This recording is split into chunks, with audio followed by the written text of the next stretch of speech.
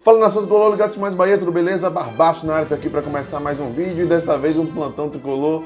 Não é sexta-feira, acabei não podendo postar na última sexta-feira novamente, mas o que importa é que o plantão tá aqui para passar todas as últimas notícias do Esquadrão de Aço para você, torcedor apaixonado do Bahia. E para começar, o esquadrão renovou com o atacante João Paulo Queiroz, que pertence a São Paulo ele renovou seu vínculo com o Bahia até o final do ano. E como vocês já sabem, o técnico Guto Ferreira foi para o Internacional, inclusive já estreou empatando dentro de casa, e Jorginho foi contratado pelo Bahia para ser o novo técnico e estreará hoje na Arena Fonte Nova contra o Atlético Goianiense. E se você quiser saber mais tanto da saída de Guto quanto da vinda de Jorginho, os dois vídeos a respeito desses temas estão aí na descrição. Bom, e o Bahia contratou o meio-campista Vinícius, de 26 anos, junto ao Atlético Paranaense e acertou o empréstimo também do meia-atacante Gustavo Ferrarez junto ao Internacional. Ambos já foram anunciados oficialmente, já tiveram seus nomes publicados no BID e já podem estrear com a camisa do esquadrão.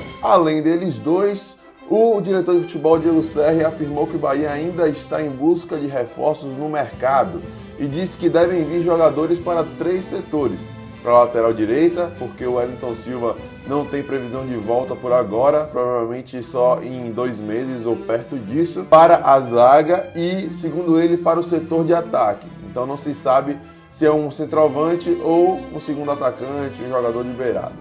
Mas o que se sabe é que o Bahia sondou o atacante Elber, do Cruzeiro, que teve recente boa passagem pelo esporte e também pelo Coritiba, mas não está sendo tão utilizado na equipe mineira. O empresário do jogador afirmou que o Bahia procurou sim ele para poder saber mais sobre o atleta e o empresário, assim como o jogador, se interessaram e pode sim ocorrer algum desfecho positivo para ambos os lados.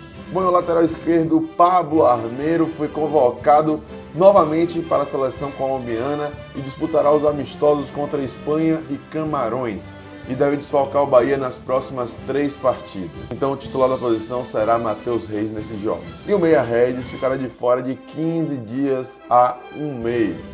Isso porque no jogo contra o Botafogo ele sentiu a parte posterior da coxa direita e aparentemente já havia um tempo ali sendo desgastada, principalmente por conta dos últimos jogos aí e da sequência intensa que o Bahia teve com o final de Baiano, final da Copa Nordeste, início de Brasileiro.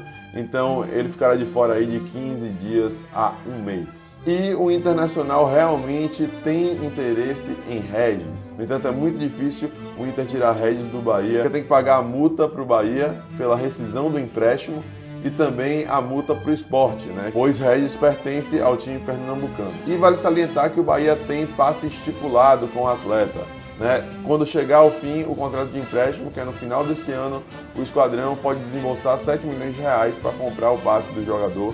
E o presidente Marcelo Santana falou que vai se esforçar muito para conseguir manter Regis aqui no Esquadrão de Aço. E por fim, uma notícia que não é novidade para ninguém: Bahia tem a maior média de público no Nordeste e a 11ª do Brasil, né, após o fim aí desse primeiro semestre. É uma média de 13.992 torcedores por partida. Bom, galera, é isso aí. Esse foi mais um Plantão Tricolor. Espero que você tenha gostado e que, sobretudo, tenha ficado muito bem informado sobre o nosso Bahia. Então não esquece de dar o seu like, de se inscrever no canal se você ainda não for inscrito, de compartilhar com todos os amigos e familiares tricolores.